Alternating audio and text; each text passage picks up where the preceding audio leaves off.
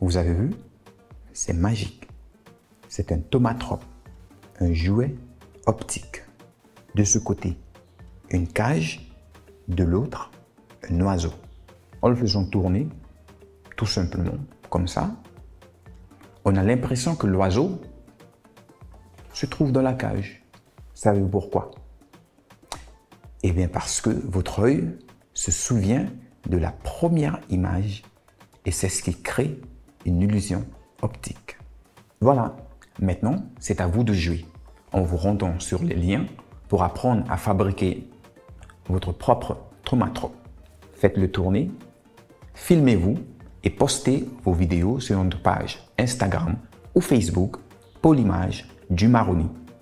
Amusez-vous bien.